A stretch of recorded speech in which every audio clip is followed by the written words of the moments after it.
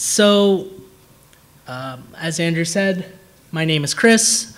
Uh, I've uh, been working in this industry since the mid 90s, so quite a long time. Uh, started off heavy systems administration background, had the great uh, opportunity in my career to start coming to the LISA conference around 2005, which, uh, if anyone uh, knows that history, there was a bit of a kind of revolution going on in the configuration management space. That was when a lot of um, kind of the current gen of tools were just uh, fledgling baby tools. That was when Puppet was first uh, coming out. That was when Chef was first coming out. That was when CF Engine was trying to catch up uh, and move from version 2 to ver version 3. And uh, I really drunk the configuration management Kool-Aid uh, and infrastructure automation Kool-Aid uh, very deeply. Worked uh, for a couple of Web 2.0 social media companies here in California, dealt with a lot of very uh, high scale, high availability environments to keep everything up and running. And I also have most recently, in the last few years, added a uh, somewhat of an evangelist advocacy uh, kind of role to my career uh, as a speaker at conferences and helping to uh, grow the systems administration and SRE community uh, and, and add my voice to that uh, discussion that's been going on. To give you a bit of a background of me and my, my company and kind of why I'm up here talking about SRE hiring, I hire people.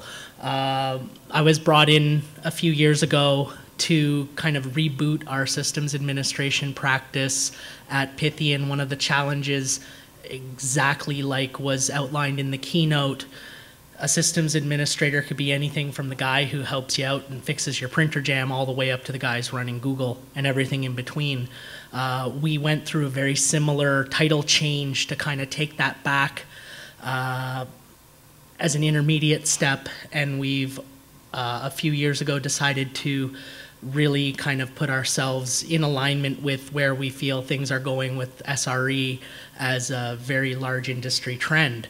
I've had a very unique uh, experience taking what was predominantly a group of operational systems administrators and trying to uh, move them more towards the SRE philosophy and uh, skill set, uh, while at the same time building out new teams uh, I've hired about 30 people in the last two years, and this year we're looking at 100% growth on that as well. So, uh, in short, I hire a lot of people. Uh, to the point where I was actually pulled off of managing a direct team to focus on hiring as my full time goal. Uh, one of the neat things about doing that is I got to really take a look at hiring in an evolutionary point of view, looking at hiring then versus hiring now. Uh, and I got to work with our HR team to uh, to evolve our process to ensure that it was measurable at all stages and to uh, to take a deep look at it and and see where things have been going. And it's pretty clear that there's kind of been a shift going on in the industry that's been fundamentally changing what we're looking for in people. Uh, you know, if we take a look back at a then versus now, uh, I think it will pretty much outline things. So, then versus now. So, I, I look at hiring then as the trivia game show. So, back in the day, you asked a lot of technical questions, and they people would regurgitate those answers, and and you go, wow, this guy person, this guy knows a lot of stuff, so we're gonna hire him. Uh, you know, job descriptions and job recs were basically a big jumble of technological soup. It was just acronyms, this, that, the other thing. And the kind of conventional wisdom was you, you put everything on that resume, or not everything on the resume, you put everything on that job description under the sun, and then you kind of settle for the guy who kind of comes in at the 70 or 80% of stuff. Uh, and, and I don't think that really works well because, you know, the game show model kind of re rewards regurgitation it kind of rewarded the right answer, not necessarily the thought process on how to get to that answer. And it really focused on what you know today. Uh, and I think, you know, for, for a period of time, that was okay because things were kind of very stable, you know, from I'd say the mid 90s and uh, for the next, you know, 10 years or so, things were pretty stable. Things kind of stayed the same. So you could kind of hire people who knew the most and, then you'd get a great hire out of that person. But right now, we're at the intersection of old versus new. And it's really interesting because you can see that uh, when you're starting to get answers back to people from people uh, when you're talking to people on these interviews, and and it, and it's really interesting uh, to see the future of the way things are going, and a lot of it talks about at scale, right? So, you know, pretty typical question you could ask like a systems administrator type person. You know, back in the day, how do I add an IP address to ETH1 on a Red Hat kind of family, whatever box, Red Hat, CentOS, Amazon. Uh, and, and, and you'd probably get something like this. I know there's probably like 15 other options you could possibly put in there, but those are kind of your core options. And you'd look at that and go, okay, so the guy's, you know, guy knows to go into etc sysconfig network scripts, if config eth1, plumb all the interface. That means it'll come up when it reboots. Okay, that guy knows what he's doing. Uh, but today, you're just as likely to get an answer that looks like this. You're going to get three lines of code that in, in a config management language. This happens to be Puppet, uh, but it could be anything. It could be Puppet, it could be Chef, it could be Ansible, it could be Salt. And, and, and you're sitting here going, well, is, is, which is, is one answer better than the other? Like, is one person more right? And, and that comes down to a real personal uh, evaluation of where your business is right now. Like if your business is stuck in the in the olden days where you're you're you're going on every box to make every change, then you know uh, perhaps the, the the the first candidate is more appealing to you. If you want to move that business into something where there's more automation, then perhaps the second candidate is more appealing to you. Or if you're already there, then perhaps this, the first candidate who did not give you the config management answer is not the right candidate for you. Uh, what's more interesting is that as we continue to grow uh, in the industry and as we continue to push out to the point where all, all clients are looking at highly scalable environments, uh, you couldn't even get to the point where the person who gives you this second answer wouldn't even know how to do the first answer. And then the larger question becomes is that good? Does it matter? Does it matter that the person doesn't know to edit etc sysconfig network scripts if config eth1 if that person's never going to be doing that. So back in the day, you'd have an outage, your web server would go down, and it would be panic on the floor. People would be running around with their arms flailing, going, oh my God, oh my God, oh my God. Every executive would come out of the office and find where you are They've never come into the systems administration uh, area of the office before, and they would find it. And they, they, they would come in and they would go, What's going on? Our site is down, we're losing money. And we would put on our, our capes and our cowboy hats, and we would work tirelessly to get that system back up and running. And you know, and then and then scarily enough, we would be rewarded for getting the box back up rather than building the fireproof house. Uh, whereas today, we have more resilient architecture, which is hopefully being used.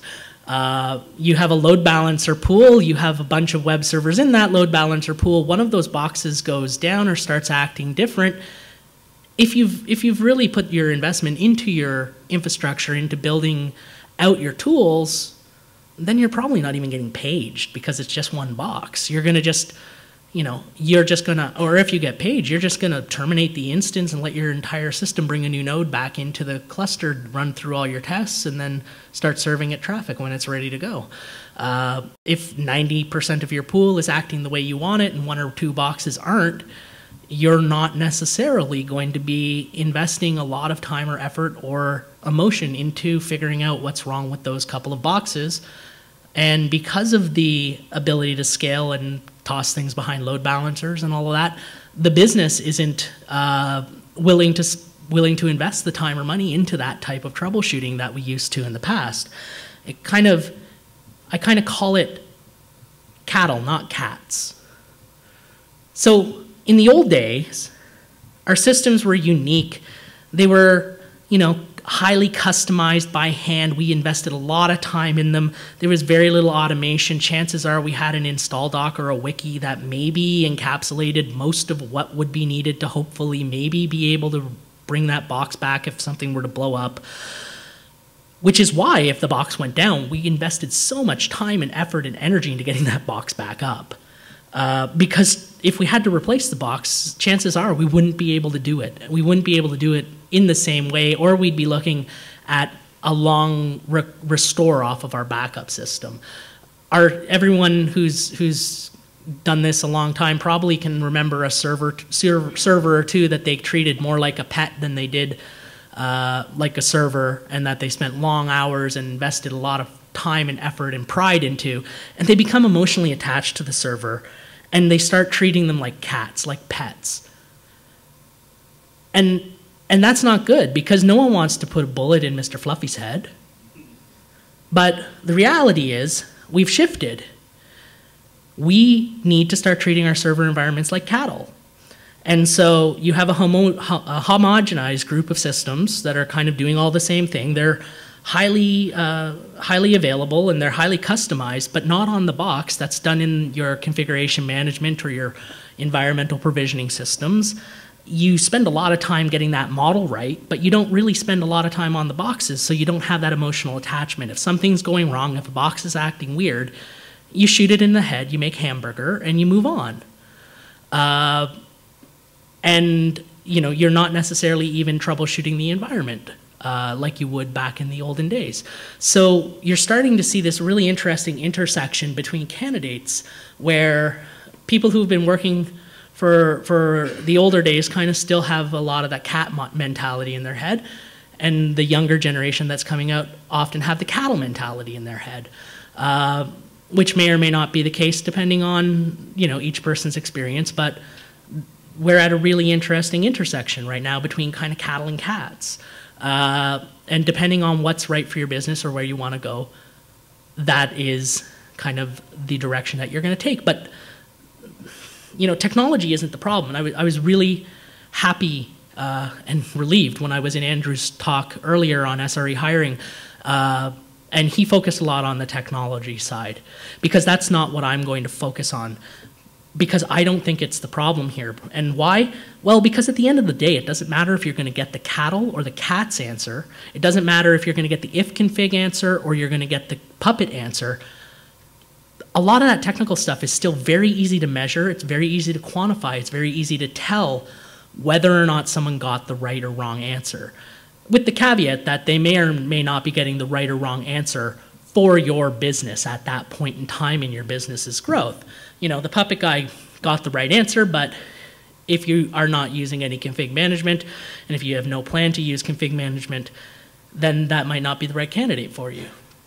Or on the flip side, if config man got the right answer, but if you're, you know, a puppet shop or a chef shop and you have a thousand nodes, you're like, dude, you are not going to box walk to add an interface to a thousand servers. You're going to do it through config management. So that great so what is the problem? And I have to just toss up this next slide. I think it really sums it up perfectly. So the problem is, and, the, and I think the problem is outlined perfectly in the middle panel, is that how does anything that we've been doing in our career up to this date help us prepare for the fact that technology is growing and changing and evolving so quickly that anything we've done in the past doesn't necessarily uh, does not necessarily ready us for what we're going to need to do in the future. And I took a look at the hiring to date and did a bit of a root cause analysis. So the current method kind of really tests what you know. But the problem is, is what you know is really losing value to employers. What you were doing in your career 15, 10, or even five years ago is not the way that we do things anymore and it's definitely not the way that things are going to be done moving forward. The change and the focus I find is moved into soft skills and traits. And I hate to say it because with soft skills and traits, the hippies won. So you take something that 10 years ago when I was looking at a candidate and I'm saying, okay, well, I need someone who knows Apache and I need someone who knows PHP and I need someone who knows Memcache and I need someone who has worked with CDNs and I need someone who can kick around MySQL good enough uh, in case there's some problems. And those are all check boxes, right? But how do we do this whole like ability to learn new things quickly? And uh, you know, how do we do logical thinking and how do we wrap all of that around uh, something that is measurable and something that you can compare two candidates against? Uh, my company does consulting both on the SRE, systems administration, networking, DevOps side, as well as database uh, practices in Oracle, MySQL, MS SQL, and open source database technologies. And I had a great opportunity to sit down with some of my colleagues, some of the other people who are in charge of hiring, and I said, guys, when you're doing a fit interview, how far in until you know whether or not you're going to hire the person or not? And the, the answer I got was nearly identical and incredibly disturbing. And the people were like, oh, you know, I generally know in the first five minutes whether or not the person is a good fit and whether or not I should hire that person. And I went, what? Five minutes? You spend five minutes with the guy and, and, and you're like, yeah, that guy's a good guy. We're going to, yeah, I think he's, he'd do well for the role. Uh, one thing to note about our process is we separate our technical evaluation from our uh, fit evaluation, team fit, man, uh, culture fit evaluation. Uh, so they've already been evaluated as having the technical skills required to do the job when they go for fit interview. So uh, you can you can let a little bit go there and say they don't have uh, the people doing our fit interview don't have to worry about evaluating technology alignment or technical skill. But it's still really disturbing to think that oh I you know I spent uh, five minutes talking to the guy I think he's pretty good you know Let's hire them. You know, we're SREs. We love data. We love metrics. We need something better than that. Hiring on gut alone, well, I think it's the equivalent of basically saying, have you tried turning it on and off again? You know, you know the reboot's going to work, but you don't know why. And, and, and when I really called some of my colleagues on it, they kind of agreed. They kind of put their head down in kind of shame. And, and they said well well how do you take all of these soft traits these soft skills? How do you how do you get data out of that? How do you how do you do that? How do you measure that? And they said you know the problem is is that you know you take a job description from a few years ago and like I said, it was a very large list, list of very easy to measure technical requirements. A job description today, you know, it, it, it reads like this. It says, I'm looking for a person with great self-awareness, the ability to handle stress well, and who can learn new things quickly. Someone who is risk aware but not afraid to take risks. I mean, all you need to do to add to that is enjoy romantic walks on the beach, and you feel like you should be hiring someone off of OKCupid instead of LinkedIn. So I just said no. Just no. We have to take it back.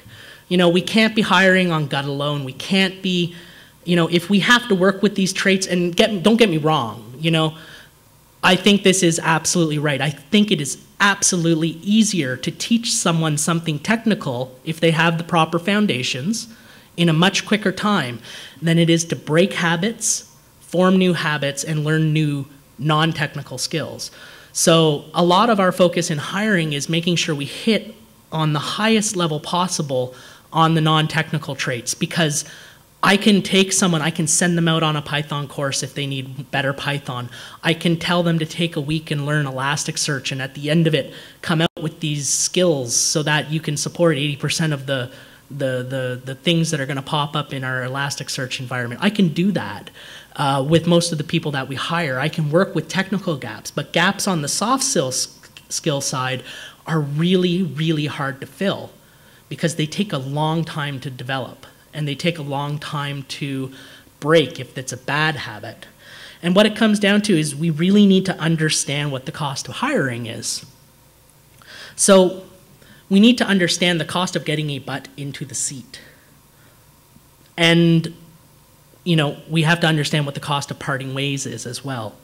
And we have to remember that finding that new person also includes the cost of finding all of the people of, of disqualifying all of the people who did not match and then we have to have a way to measure all of that at every stage so that we can improve the process lower the costs and improve that hit rate so at my company because we're a company that is remote we bring everyone to our head office in ottawa for three weeks uh, from wherever they are hired in the world to immerse themselves in our corporate culture, understand our policies, meet with the team managers who are also flown in uh, to, to participate in their onboarding.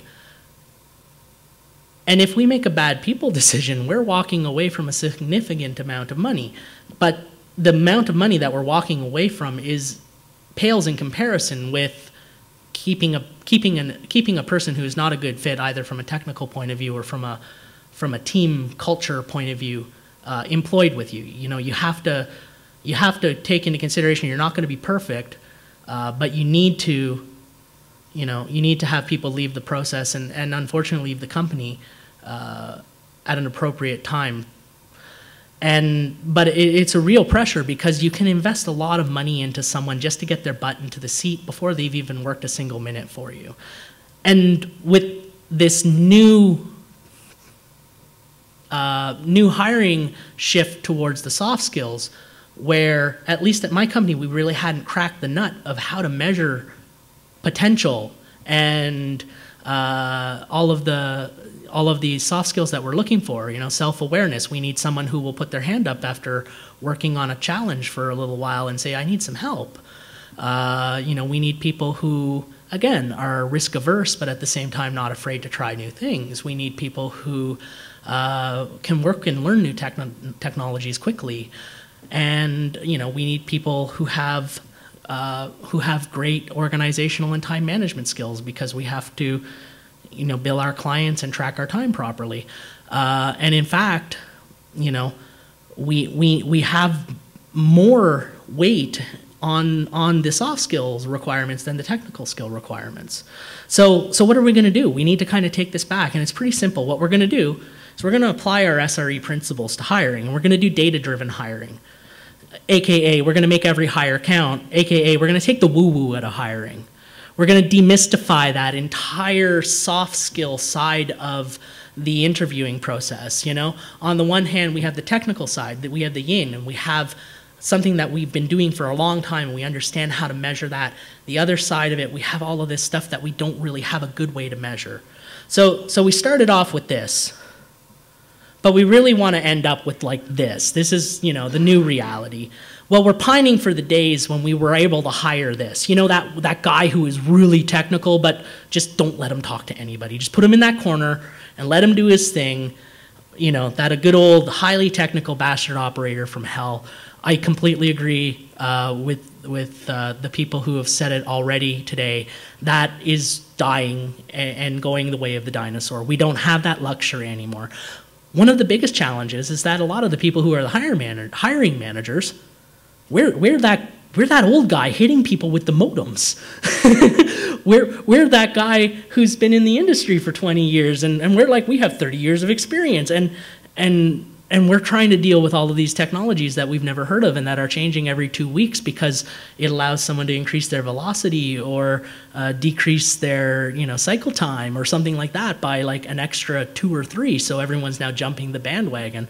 You know i was on a call you know i was on a call it's it's about six months ago i was on a call with one of our clients and they're like yeah you know node.js is really kind of old and we're not really comfortable using it anymore. It's pretty you know old. So we're going to move to this thing called Vert.x I'm like, Google, Vert.x. Okay, no problem. And yeah, you know, we're gonna we're gonna we're gonna do that over the next couple of iterations, and then we're gonna need your help supporting the environment that's gonna be running under Vert.x. Oh, and, and we're getting rid of Unicorn too, because Unicorn is not really helping us out anymore. We're gonna move to Puma. I'm like, okay, Google Google Puma. Okay, what's okay? Yeah, no problem. Great, thank you. Like, call up my principal consultant. I'm like, Bill, have you ever heard of Puma and Vert.x? And he's like, yeah. I'm like, good, because we have to support it in a couple of weeks. He's like, oh, great. Uh, but that's it. The technology is moving and changing, and and and it. I think it's that software engineering kind of attitude that's kind of that's kind of taking hold in in the industry. That you know we're going to work with the tool that gives us the most advantage, and we will use our skills to kind of overcome the shortcomings of that tool or overcome the fact that uh, there's there's not a lot of documentation or anything like that uh, with the tool. It's that intersection that Ben Treynor talked about last year of uh, this, the systems administrator's goal is stability and reliability and, and no change, and the software engineer's goal is, is a lot of change and, and rapid change and quick change. So, uh, so we have to understand that the people who are hiring unless you're really lucky and and and you you're very close to this generation of technology, where the where those old guys hitting people with the modems? And as I mentioned before, to get there, we need to measure all the things. We absolutely need to have a way to take these soft skills, figure out how to rate them, scale them, uh, compare them, and then get us some data to back up those gut feelings. Because gut feelings are important. I'm not going to downplay that at all. The, the gut feeling you have about a person is, is important in the hiring decision, uh, but you need data to back that up, especially if you're comparing multiple candidates against each other. So, what it comes down to is you need to define traits. So, you have to understand your wants and your needs, and you can't have 100 traits. So you have to go, okay, well, what's important to me? Just like in technology, well, what's important to me? You know, if, you know, you, if, if you're doing SRE and DevOps uh, type of integrated work, you need someone who has strong coding skills. You know, uh, kicking some things around in Bash isn't necessarily going to cut it today.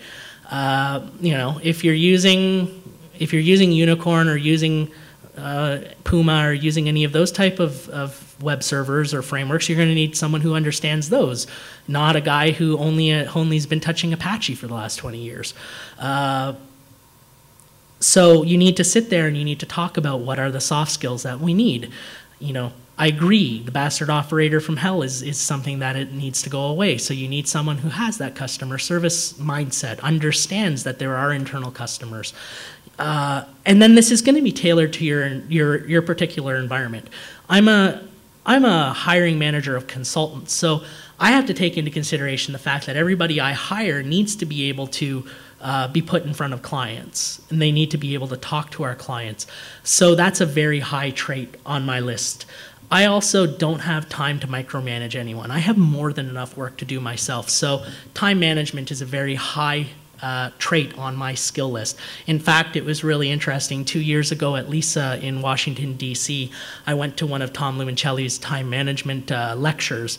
And afterwards, I said, Tom, I said, so I'm having this problem right now, and I have all my guys, and I have these guys, and it's like herding cats, and I can't ever get them to finish a project on time and give me something and hit these deliverables. And what do I do? Like, do I buy everyone a copy of your book or, and sit them down and say, read this book? And he's like, well, you know, I'd, I'd really, you know, appreciate that, and my publishers would really appreciate that, but it's not going to get you what you want. He goes, what it comes down to is you have to hire people who have good time management skills. And I went, oh, of course, hire people who have good time management skills. What I didn't understand at the time is what Tom was saying is, you have to identify that as a trait in a person that's important to you and your organization, and then you have to basically identify it as a need and say, I'm not going to compromise on this. If that person doesn't have good time management skills, it's a deal breaker. I'm not going to hire them. So, what you have to do is you have to kind of identify your traits. What's important to you non technically? You know, we all, you, you've pro- I could ask you what's important to you technically. You could probably ramble that off the top of your head, but sit down and put some thoughts into what's important to you from a non technical point of view in a person. And then what we need to do is we need to assign weights to those traits.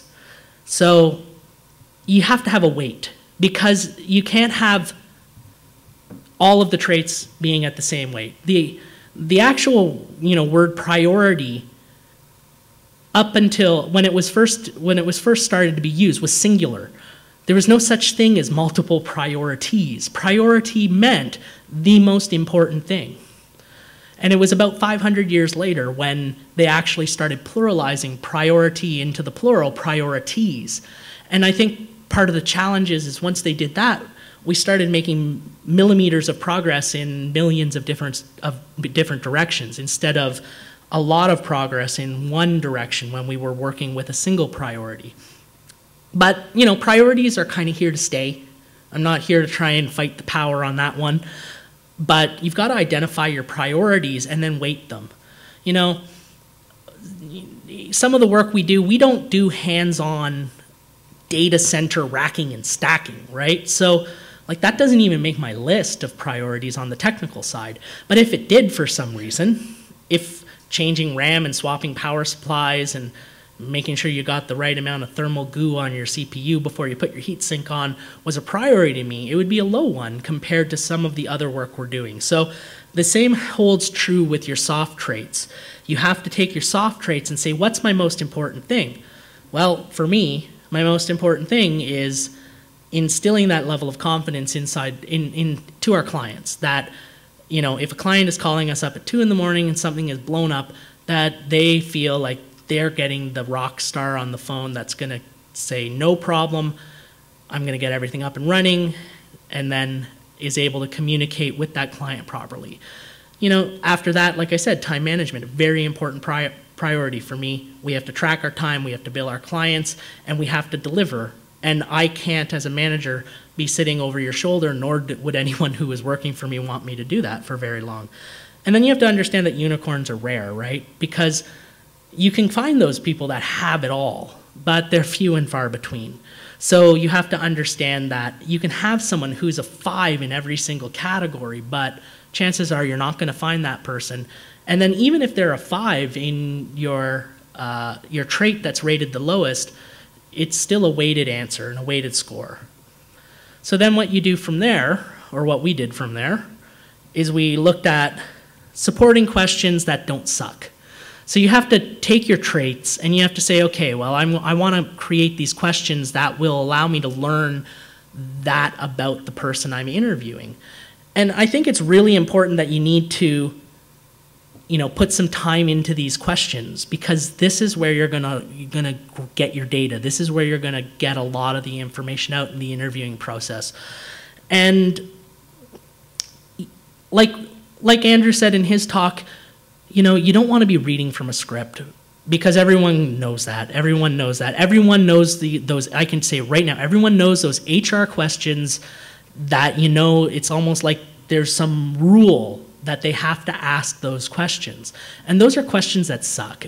And if I'm interviewing someone, I want to be able to have awesome questions because I'm the one who has to go through hundreds of interviews to find the person. I also want to have a great interviewing process for the person who is going through that because that person, you know, might not be a good fit for our organization right now, but 6 months down the road, a year down the road, they might absolutely be a great fit you, you know, this whole process is basically trying to figure out if you guys are on the same page or not.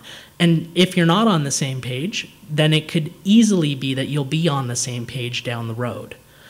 So I want to have people leave our hiring process thinking, wow, that was a really great hiring process. Those were really great questions. It was really challenging. And, you know, this is probably a really great place to work. I want to go off and do some work on the areas they told me to work on and come back and apply again. Or I want to pipeline someone, I want to keep them warm, and I want to check in on where they are six months down the road or a year down the road. So you need to have questions that don't suck. And you know, no questions that you can Google. There's so many. I see it on LinkedIn all the time in my feed. You know, the the common answers to the top five interview questions and how to answer the how have you made a mistake in your career question. And, you know, no. So I, I purposefully kind of find my questions as like, you know, the deconstructed antithesis to those. I'm like, no, if, if it's out there and there's an answer to it, I'm trying to find something that asks the same question in a different way. And even have more than one question, obviously, that asks that talks about the same trait that's just asking it in a little different direction because you know they you know everyone's smart that we're trying to hire hopefully. And, and, they can go oh this is they want they want they want to hear about my you know my ability to handle stress and so they're going to try and give you the answer you're looking for. But try and find sneaky questions sneaky questions that can give you those same answers but without uh, tipping the person off as to what the trait it's looking for. So then we're going to put it all together So you have to have like an interviewing scorecard. So you're going to rank your category, your, your, your candidate in each category, and you're going to evaluate them. You're going to have your notes, and you're going to give them a score. So the, the ranking score times the weight of that trait equals the overall score or for that category. And then the sum of the score from each category gives you kind of an overall rate for the candidate. And we now have data. So you can now compare candidates to one, one another on the categorical level, and you can compare them on the overall level. And now we have that data to back up that gut feeling. So we're not making hiring decisions based on the first five minutes of meeting a person, either in person or over a Google Hangout or, or whatever uh, method we're using. So we've essentially, we've achieved victory, which is really awesome. So now we have some balance again in our process. We have a technical process that we can, that we can measure. We have data from that process. We can compare candidates on their technical merits. We now have a process that allows us to do the same on these, you know, tree hugging, hippie, chia eating, electric car driving, soft skill things, which is really great. Uh, one last point I wanted to put in because I think it's very important, but I think it's almost an entire talk on its own, is successful hiring is really only half that story. The care and feeding of your SRE team is really important as well. Seeds don't grow unless they're given the right environment. You can't generally just chuck some seeds down into the dirt and hope that you're going to get a tree that bears fruit. You have to make sure that the environment is right. You have to make sure you have the right soil, the right amount of water, the right amount of sunlight, the right fertilizer and food, and you have to take care of providing the right environment so that your seeds can grow and return what you're looking for. A hire a team is is no different. You can't just hire a team of people and go poof SRE and expect it to work because you need to have that buy-in from all the different levels of leadership in your company. You have to have the buy-in from all the different managers, and you have to really create that environment so that everyone can grow and be successful. Because if you don't, then you're just not going to get what you want out of the people you hired. SRE, just hiring an SRE alone isn't going to magically solve everything, usually. So, why, yes, we are hiring. Uh, if you are interested in that, come and talk to me uh, later on.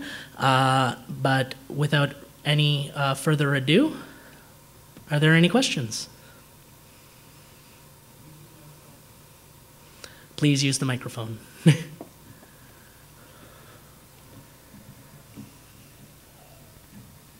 So one question I have is, could you go over what you look for in, say, a junior SRE? Sure. I look for a lot of the same things, but I have just a different level of expectation. I look for this, I look for a seedling as opposed to a tree. So, but I'm still looking for the same things. I'm still looking for the, the foundation of personality and passion and customer service skills and time management skills and generally being an organized person. And I'm, my expectation is that they will be less developed than in uh, like a, a, intermediate or senior kind of SRE role. But I still need the same things. At the junior level, there is a little more flexibility for gaps, uh, but at the same time, you still have to take into consideration the amount of investment in filling that gap versus uh, moving on to another candidate that might have that, uh, that trait already in place. Again, uh, my focus is more as a hiring manager is more on the non-technical side. Uh, so, you know, technical skill gaps are, are another, another concern as well. Uh, but on the trait side, I think a lot of the traits that we have are not necessarily traits that we you know that we we learn on the job. I think they're traits that we've developed throughout our lives. So you know getting someone kind of out of grad school or college versus someone who's been in the industry for a long time my expectation would be that uh, that i would be looking for the same traits just at a different level of maturity in in a junior role versus a senior role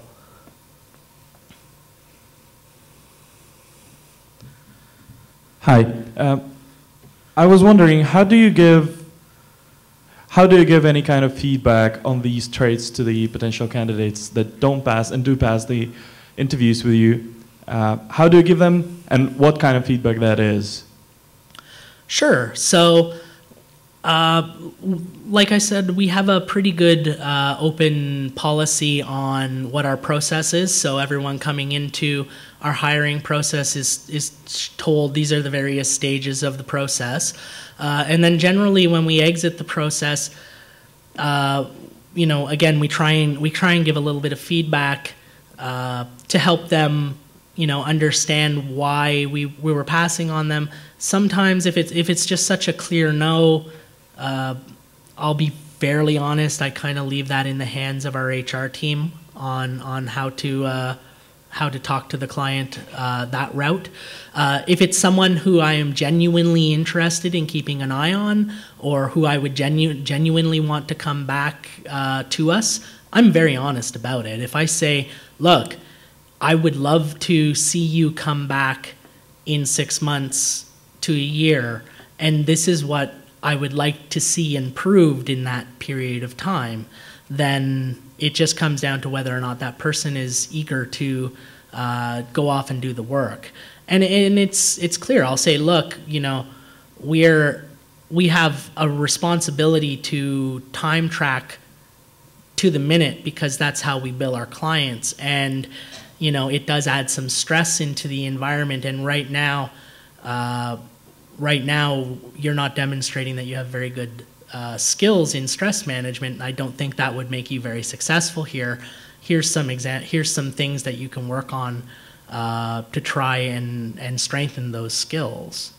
Uh, I've had it work very successfully where I've had people go away and uh, come back and it's you can we have the data from the first set of interviews. We put them through the second set of interviews. We can see that progress and we've said okay look this person got went off and learned uh, and has has shown that they've planted the seeds in that area where they were lacking and now that they have those seeds and that foundation, we can really help grow that with them.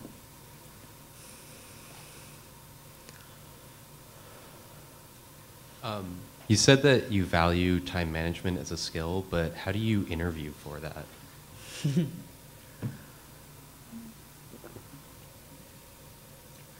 so it's tricky. Uh, you have to you have to ask a lot of questions about how a person uh, how a person organizes their day and their time, what tools they use. Um, you know, like you know how do you you know how do you plan your day? Right, that's a great question. And if someone just says I show up for work and I deal with whatever fire is on, then you have to kind of steer it a different way because you're not getting any indication as to whether or not the person has any of those skills. But if they're like, you know, oh, you know, at the end of the day, I'll check my calendar for the next day, and you know, I use some app, AnyDo, to do, just the default to do, or even use my calendar uh, to plan out time. I block off time so that I can catch up catch up blocks are a great thing. You know, look at your calendar and just know that, you know, maybe I'm going to block an hour between three and four just so I can catch up on stuff so I can finish my day at five. You know, if they start giving you answers like that, if they're doing anything like that, then you can go, okay, well, this person seems very well organized and they seem to be able to track time. That also starts talking about their ability to handle stress because if they're organized, then hopefully stress will be something they can handle better. Excuse me. And, and so it just gets into understanding what questions you can ask that will reinforce or answer the questions of the traits that you've defined as a need. And and then weighting those. So, you know, maybe time management isn't your hugest priority. So for me, it's like a four. For you, it might be a two. But it's still kind of one of your top five traits, right? You have to limit that. You have to kind of say, I don't, I can't hire a hundred traits. I can't, you know, finding that unicorn is just not going to happen. But these are the must haves needs versus wants. What are your needs? So if you need time management, if that is a deal breaker, then that's like a five on your weighting. And something that's a want, like, you know, I would, I want someone who, you know, who I don't know, enjoys beach volleyball. It's just a weird one, Uh, but that's a it's a want. It's a one. I don't know why that would make your top five, but maybe you have a really killer beach volleyball team at your at your company. Um, but that's that's what you do, right? Is you is you weight those appropriately. So so you're not having arguments with people going, well, this guy's a killer beach volleyball player but he has horrible time management skills. So if you score the guy a five in beach volleyball, that was weighted a one overall. He's still only getting a five there. But if you your your time management is your number five from the weighted score, and he only has a one there, he's still only getting five on that time management uh, out of 25, which is which is a lot worse than a five out of five on a on a one weighted question. So by weighting the questions, you avoid a lot of arguments. We had a big problem where we were really like networking, networking, networking, networking, networking. And it's real, and you know, networking is really important, and you need to understand all of that. But uh, it, there was no weighting to that, and it was it was weak. People with weak networking were becoming these great long debates, whereas people with you know with whereas they'd have strong skills in config management and they'd have strong skills in you know like clustering and scaling and all that type of stuff or cloud and and they would score weak on their on their networking and we're like we don't do a lot of networking. It's not like on the top it's on the top 5 list of the work that comes in it's it's very low for our business. You know, your business might be more networking centric, obviously, and networking might be a five for you. But we, we had to apply that weighted average there so that we could say networking is a two and config management is a five and scripting is a four, you know? So, so that if someone scored strong on networking but weak on the other ones, overall they would show that as being weak. Without weighting them, it was really difficult to show the weakness and the strengths in a candidate.